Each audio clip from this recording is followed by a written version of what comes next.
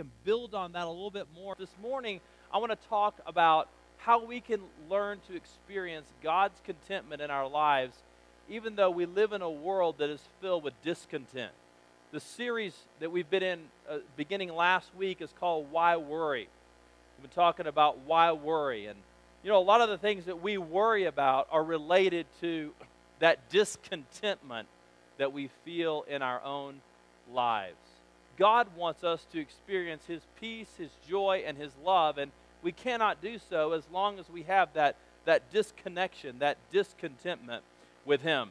Now, when Paul said, I have learned to be content in all things, you would expect that he was probably sitting on the beach looking out on the waves and the water, saying, Man, I've learned to be content in all situations. But in reality, he was writing the Philippian letter from a dungeon, from a prison. And it was there chained to a Roman guard that the apostle began to teach about contentment, not exactly the place that, that we would expect to, to find a teaching about contentment, but, but in reality, we're going to see how God is going to weave that together and to use this in this letter to, to communicate a great truth to us. Very few people experience contentment. In fact, the, the, the, word contentment in the language of the New Testament means contained. So a person that is content has a contained life. A person that, that is discontent has uncontained desires. Desires all over the place. Discontent, uncontained. And we live in a world that is discontent. People are always wanting more. People want it different. People are not satisfied many of us today in this room are struggling with feeling content with where we are in life. So I want to give you a few questions this morning. I've got a little discontent or a contentment questionnaire. Let me ask you a couple of questions. Number one, uh, are you sad when others succeed more than you do? Are you sad when others succeed more than you do? You discontent. Are you frustrated when the neighbor's kids have nicer stuff than your kids do? Are you discontent? Do you hate or judge people we don't that you don't even know? You know, sometimes we can just look at somebody by what they have on or the car they stepped out of or the people that they're with. And we can think uh, we can we can judge that person. We, we can despise that person. We can can make preconceived judgments against that person. We don't even know them. And it all stems from that discontentment. You know discontentment and envy go together. They're really really good friends. A person who is content with where they are in life and what's going on in their own situation is the person that will not be envious. But the person that is discontent was the person that will envy what others have, and we struggle with this. And still, others of us may be struggling with the nothing is good enough syndrome, you know?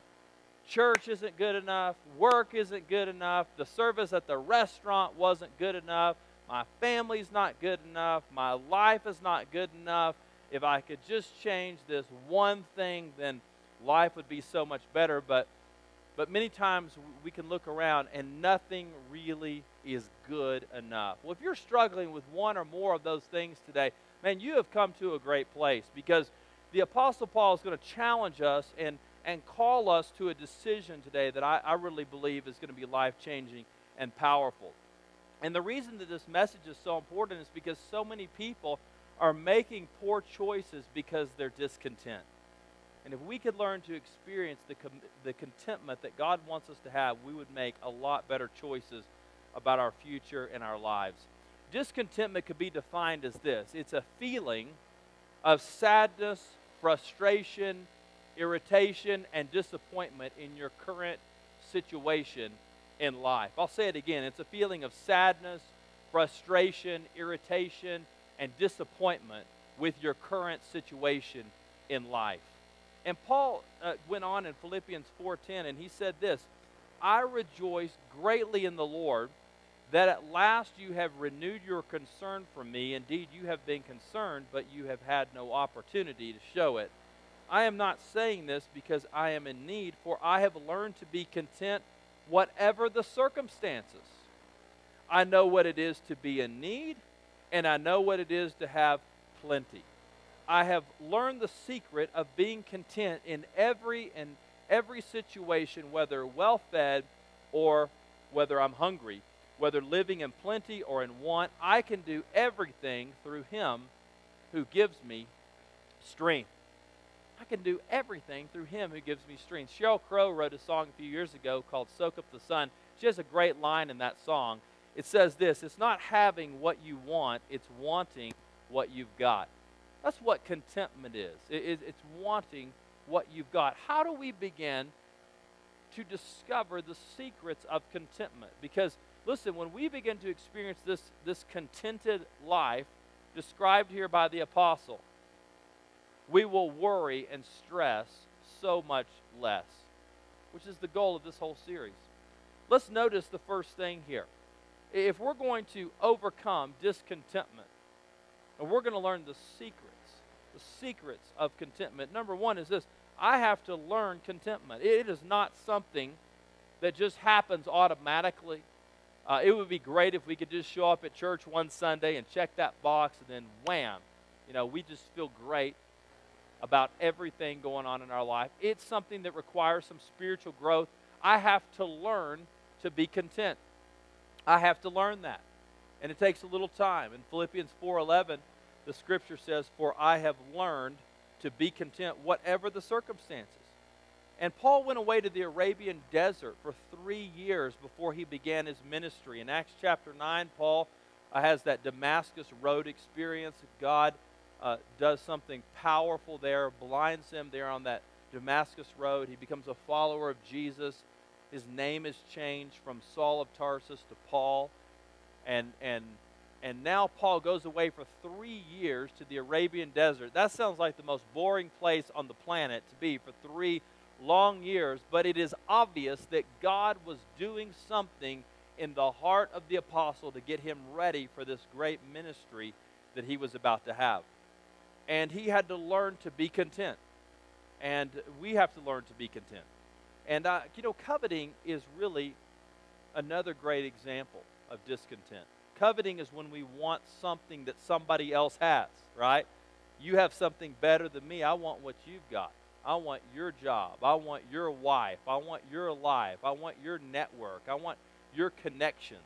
I want your resources, whatever it may be and and and sometimes we struggle with that it's actually one of the ten commandments is that we're not to covet but listen when we feel content with where we are in life we don't feel the need to to desire to have the things that everybody else has in fact we can celebrate when people have a victory and when people have blessings that come from god instead of feel feeling threatened by them and the reality is that God blesses people in all different ways. And the sooner that we learn that, the more content that we will be with where we are in life. You know, a number of years ago, I was a college student and I was traveling on my very first mission trip. And I was going to Siberia. Siberia, yes, Siberia, like Russia, Siberia. I'm talking like bears, you know, exotic animals. Siberia is not a place you just kind of happen to pass by, you know we had three layovers just to get to Siberia. I mean, this is in the middle of nowhere. And the very first flight that we took was a direct flight to Frankfurt, eh, there into Germany. We were on Lufthansa, the, the German airline. And the, the man that I was traveling with had done a lot of missionary work in the former Soviet Union. And so he had like massive, massive miles. I mean, he was like the best friend of Lufthansa type guy, you know he walked up to the to, to the to the uh, person at the desk at the airport and asked for an upgrade and boom we were in first class so now i'm flying like 12 15 hours something like that straight over to frankfurt germany in first class they brought us a beautiful leather shaving kit with a lufthansa emblem on the side fresh socks deodorant toothbrush razor uh, shaving cream, toothpaste, all that kind of stuff in the little shaving kit. First class passengers enjoyed the, the, the, the, massive leather seats. It was so big I could almost turn sideways, you know, and lay down. I mean, a big seat. It was nice. Fantastic world class service. They were feeding me wild salmon and filet mignon for meals. I mean, it was, it was awesome. Uh, all the chocolate sundaes you could imagine. I think I had three on that first leg of the journey, you know? And it was so cool because you have these people speaking to you in that really cool, like German accent, you know, and you really feel like you've gone somewhere, you know? I mean, it was nice. And this was back years ago before they had all the TV monitors on all the seats. And, and so only the first class passengers had their own TV monitor. Everybody in coach had one big screen that they had to watch the movie on. There was one movie, you know. And I've got all these channels, and I am living large. Before meals, they're bringing the hot towels out. I mean, unbelievable service. I had a great experience. I did not want to get off the airline uh, air, airplane there in Frankfurt, and I thought, man, if this is what missionary work is, I love missions. This is awesome. Whoa. So we go to Siberia. Two weeks later, we're headed back, and I told my friend, I said, listen, you know, I didn't mind flying from, from Moscow to Frankfurt in coach, but listen, you have got to upgrade. You have got to get us into first class to go back to, to the U.S. from Frankfurt because it is a long journey. And he said, Well, I'll do the best that I can. He went up to the desk. The, the, the people there that were checking us in said, No way. We don't have any seats. You cannot be bumped up to first class. You have to ride in coach. Oh my goodness, I was so disappointed. Now I've got to ride in coach class. Instead of wild salmon and filet mignon, you know what I'm eating? Turkey sandwiches. Turkey sandwiches. There's one boring movie that's right there, you know, on the screen, no personalized TV. There's a big, huge guy that's breathing on me, falling asleep in the tiny little seats. You know, there's no shaving kits. There's no hot towels that are that are being brought out for me to wash my hands. And I'm thinking, oh my goodness, this is the worst ever. I couldn't wait to get off the airplane when we arrived back in the U.S.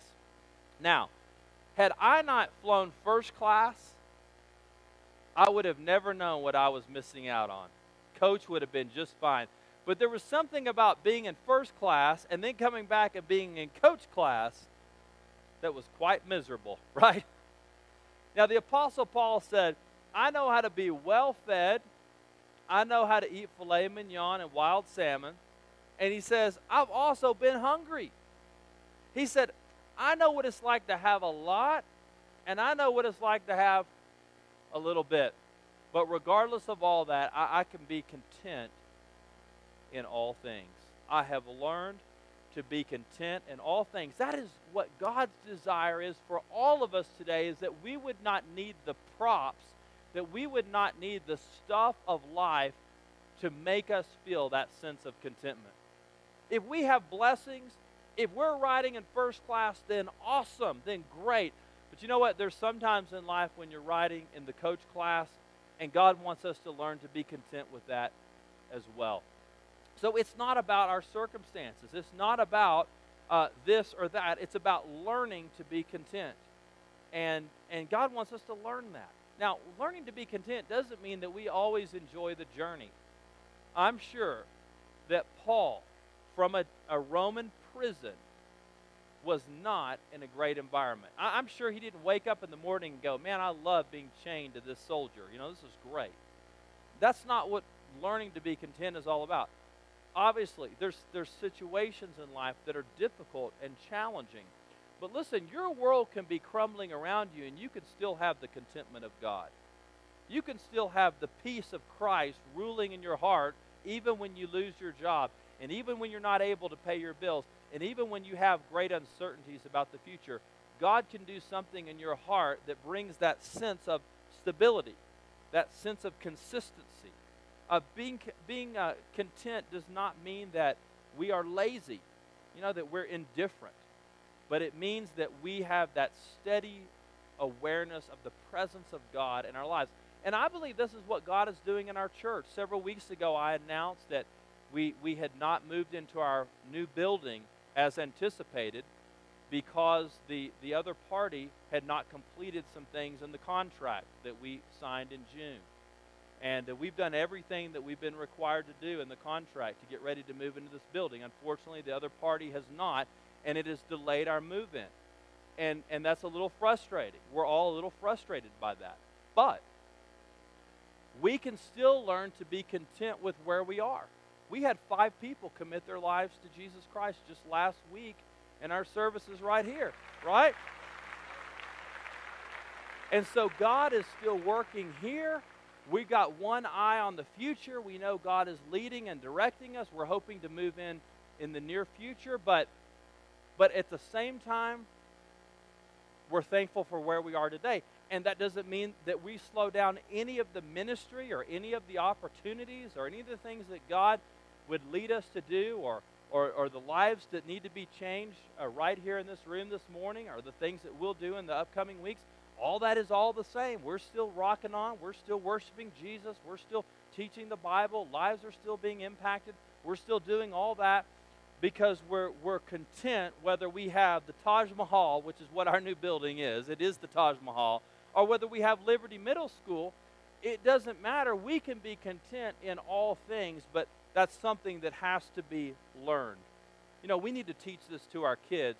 They say that America has 4% of the, of the world's children, 4% in our country, but we consume 40% of the toys bought in the world our kids got lots and lots of stuff, don't they? My kids are small, they're four and six. They've just kind of discovered that there are kids that have a lot of stuff that they don't have, you know? And they've been kind of hanging out with the tweeners. You guys know what tweeners are? Like 10 to 12 year olds, like wannabe teenagers, you know? And uh, my little boy, he's six, he said, Dad, I need an iPod. And I said, Well, son, what are you going to do with the iPod? He said, Well, I need to ride my new skateboard and I need to listen to my iPod. And by the way, I've already got Superman headphones, so all I need is the iPod and the skateboard. And I said, well, why did you know why do you need that? And he's like, well, I saw this teenager. You know, that's what he was doing. And uh, my kids have told me recently that they need a Kindle Fire, a Wii, two new bikes, a skateboard, a cell phone, and an iPod. Wow, all at once. Dad, these are necessities, you know. And I'm like, oh man, maybe we need to hang out with little kids. I'm not sure. I still love the PlayStation 2. You know, I'm like, what is wrong with PlayStation 2? Why do we need a Wii? Anyway, you know, every parent wants to give all their kids all those things. We'd love to do that. But you know what? It's also good to tell our kids no sometimes and to teach our kids to be content with having a little as much as we want to give them all these things. Because if we give our kids every single thing that they want, then they'll never learn what it is to, to experience the secret of contentment that comes through the power of Jesus Christ in our lives. And that's what's most important, isn't it? It's not about all this stuff. So the first thing is we have to learn to be content. It's a process, it takes some time, it takes some energy. Here's the second thing my level of contentment has nothing to do with my situation. Did you know that? It is independent of my circumstances. For I have learned to be content whatever the circumstances. And oh my goodness, you need to underline that phrase. I know what it is to be in need. I know what it is to have plenty. I have learned the secret of being content in any and every situation, whether well fed or hungry, whether living in plenty or in want. Regardless of the state I'm in, I've learned to be content. Here's a great word for us God wants to change our heart and we're asking God to change our circumstances. God wants to change you. See, so many times we're looking around saying, God, would you change my scenario? Would you change this? God says, I want to change you. I want to change your heart. And we believe that everything is situational. If this one thing would just change, if my relationship, uh, relationships would just change, then I would feel a sense of contentment. If, if I just had this, this this new job, then I would feel a sense of contentment. If my house was just a little bit bigger, if I could just get a car that was a little bit nicer, if I could just if I could just have this, if I could just do that, then then I would feel that sense of contentment. But Paul says contentment is is not based on circumstances. I have learned to be content in whatever circumstances and I know what it is to have plenty, and, and I know what it is to have very little. So it's not about the stuff, it's not about the circumstances. And you know, when we begin to live a life that is beyond our circumstances, we begin to experience the contentment of God in our lives. We will live a life that demands an explanation by people who do not know Jesus Christ. People will say to you, How are you content, man? You- You're struggling financially. You- You're struggling in this area and you're not freaking out. You're not worried. You're not anxious about tomorrow. You have this, this peace and this consistency in your life. What is that? And that's one of the greatest honors, one of the greatest privileges of a follower of Jesus. That people would look at our life and they would say, Man, you have something that I do not, and I need to know what that is. We live lives that demand those explanations. And we, see, we experience the same struggle from two different extremes. When you have a little, you want more. And when you have a lot, you want more. When you don't have money, you want more. When you have money, you want more. You know, when you have money, you worry about trying to keep it. When you don't have money, you worry about trying to get it. We worry all the time about our finances. God says, be content what's, what's going on in your life, regardless of, of, what, of where you've been or, or, or, or what, what you may think that you need. And if money alone would solve all of our problems, then, then you know that many of the lottery winners would have experienced a far different outcome than what they've experienced. In fact, they say uh, that only 50% of lottery winners say that their life is happier three years later. Now, some of us have just thought to ourselves, I'd like to try that out. You know, I'd like to, I'd like to be surveyed on that. But listen to this. In 2011, there was a, a girl named Amanda Clayton. She was a young mom, and she won the Michigan lottery. She won a million bucks, and she she was really famous because she was collecting food stamps while she was a millionaire. You know, maybe you heard about that on the news. But you know, only a short time after her her winning the million dollars in Michigan, she OD'd on a drug. Uh, she overd- overdosed on a, a drug addiction, and and she took her own life. Man, she just had a million dollars. You know, wow. Uh, there's a guy named Billy Bob Harrell who won $37 million in the Texas jackpot. And uh, he ended his own life less than two years later when he realized that all that he wanted was his marriage back. But he had gone on an out of control spending frenzy and drove his wife crazy. And instead of bringing the marriage together, instead of blessing the family, it became a huge wedge, and they they ended in divorce, and he took his own life a couple of years later. Here's my here's my I think the most interesting story. Juan Rodriguez he he won 149 million dollars in the New York lottery. 149 million dollars that is a lot of money. His wife had just thrown him out two weeks before. Now all of a sudden, 149 million dollars. Amazingly, they were reconciled. Can you believe that? if your ex-spouse wins 149 million, you may want to pray about that okay so they get back together she claims half of the earnings and then splits they, they get a divorce you would think that 149 million dollars you could hire enough therapists counselors medication vacation homes boats airplanes whatever else in life that you may need to feel content to fix whatever problems are there in the family, but in the end, that wasn't the problem to start with. You see, what we need is not more stuff and, and not just a change of circumstances. What we need is God to do something in our heart. Now, does this mean that we're lazy? Of course not. Does this mean that we don't have goals? Of course not. Does this mean that we enjoy the hardships that we're going through? No, of course not. But it does mean that we can begin to experience contentment outside of our own problems that we're facing. We don't need the outside props of the world to make us feel good.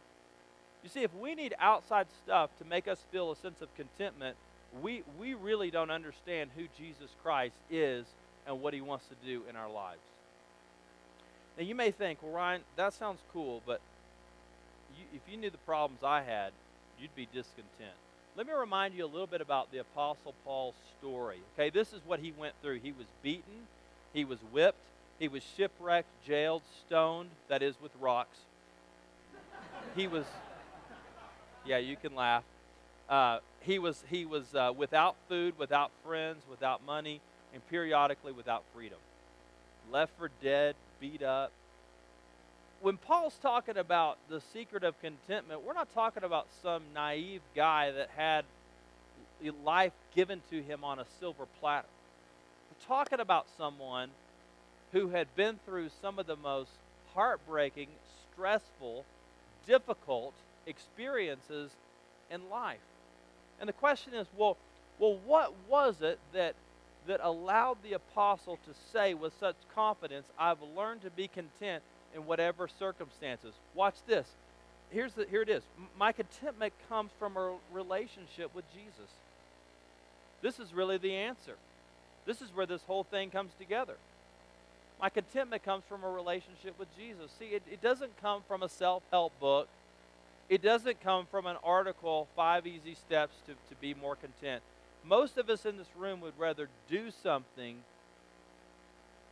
because it, it, it, gives us that satisfaction of checking off the boxes. We would rather do something rather than focus on knowing Christ. But if you want to experience contentment in life, it's all about knowing Christ. It's all about knowing Him. In, in chapter 3, verse 10, the apostle said this I want to know Christ and, yes, the power of His resurrection. So in chapter 3, it's about knowing Christ. Then in Philippians 4:13 he says, "For I can do everything God asked me to do with the help of Christ who gives me the strength and the power."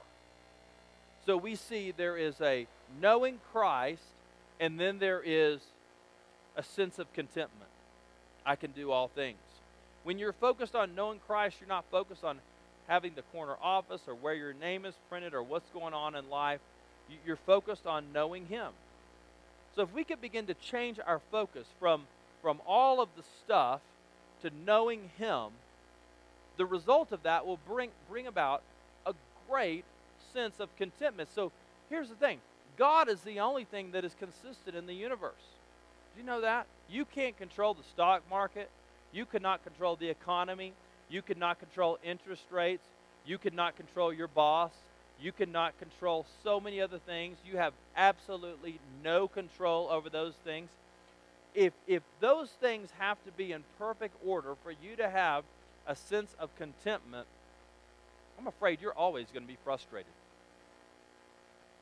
But what the apostle's challenging us in this morning is to, to see beyond that and to realize that the, the contentment that we so much desire comes through knowing Christ. It's being connected to Him. It's knowing the Lord. And that's why he says in Philippians 4:13, I can do everything through Him who gives me strength. I, I love the Living Bible. It says uh, uh, this this paraphrase: For I can do everything God asks me to with the help of Christ, who gives me the strength and power. Whatever God calls you to do, He's going to give you the strength to do it. A lot of the things that we're doing in life are not things God has called us to do. And we wonder, why am I so discontent? Why am I so frustrated? What if we begin to realign our priorities and begin to try to figure out what God wanted us to do rather than doing what we want to do and then pray for God to bless it? It's a big difference. I can do all things through Christ who gives me strength. This really is prob- probably the most famous verse in the Bible outside of John 3:16. You see it at the football game sometimes or you see it in quoted in different places. Philippians 4:13. It's a great verse. Uh, every time I read this verse, I think about my own experience as a high school football player. Uh, I went to a Christian school, and we had sweatbands that had Philippians 4:13 on them. We would wear them, you know, to our games. And I thought, man, this is awesome. I can do all things through Christ who gives me strength. That means we're going to win the state championship this year, you know? And I was so excited about these sweatbands. You know, I was like rubbing my legs with them, you know, rubbing my head and all this. We're ready to go. I, I really wanted to go over and rub my quarterback's hands with them because he was throwing so many interceptions, you know. And I was like, and I really wish you would get me the ball. Here, let me, let me, you know, rub Philippians 4:13 a little bit on you there. No kidding. The very first varsity football game that we had, we lost 73 to nothing. That is beyond humiliating. 73 the other team had over 500 yards rushing against us. It was it was pathetic. They had a running back and you, you can't appreciate the story if you don't know this, but the running back for the other team was a guy named Greg Hill that went on to become an All-American running back at Texas A&M, and then he played in the NFL for a bunch of teams. He was a really good football player, by the way. It was really hard to tackle him. Wasn't good. And I was thinking 73 to nothing and Philippians 4:13. How does this work together? You know, God, come on, you know. And, and I realized that what Philippians 4:13 is about, it, it's it's it's in the context of something far different from what we normally pull that verse out of. A lot of times we just quote Philippians 4:13 and we, we take that to mean that if I can think it, then I can achieve it. Uh, if I tell myself this enough times, then whatever I think should happen will happen. It's all in the context of contentment. Verses 11 and 12, Paul's saying, I've learned to be content in all things. So Philippians 4:13 is saying I can do all things through Christ who gives me strength, but it's tied to being content. It's not tied to just whatever we think that we may need or whatever we may want. It's a big difference. But listen, you can be content regardless of what is going on in your life. And I believe that is one of the most powerful concepts. If we could just get our mind around that today, uh, it would greatly inspire us and give us so much hope for the future because our circumstances do not define our contentment.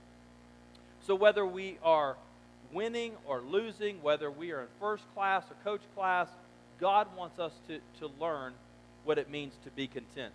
And if God calls you to do something, He's going to give you the strength to accomplish it. If God has called you to be a parent, He's going to give you the patience and the strength to be a parent.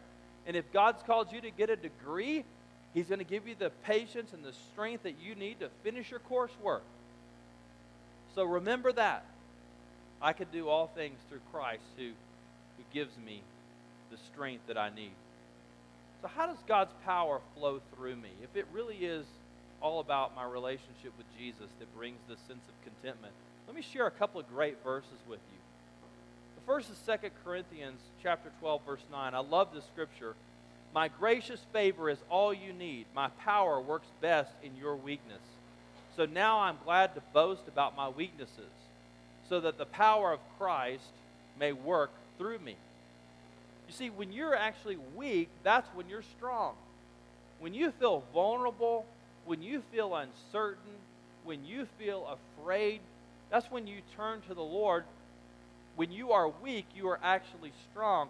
People who think that they're strong and that they have life all figured out and they know all the solutions and answers, I don't need God, they're actually the people that are weak. You're going to become stronger by realizing that you're weaker in our weakness, his strength is made perfect. 2 Peter 1 3 goes on and says, His divine power has given us everything we need for life and godliness through our knowledge of Him. So you may think, I don't think it's possible to be content. Well, 2 Peter tells us God has given us everything we need to live a life of godliness.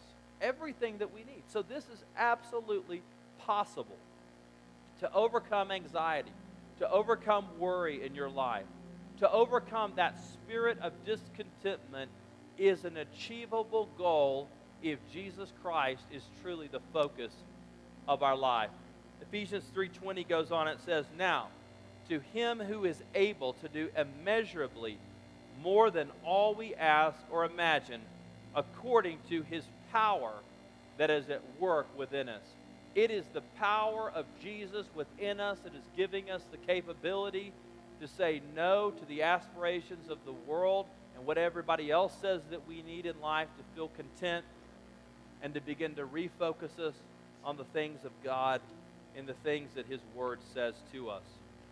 The power comes through knowing Jesus Christ. And unfortunately, many people go through their entire lives never experiencing that sense of contentment with God. Listen, God wants you to be able to say, whether you're sitting in first class, whether you're sitting in coach class, I'm content in all things. Whether it's 73 to nothing or whether it's 0 to 73, I'm content in all things because the focus of my life is knowing Christ is not just the stuff. Let's just bow together for a word of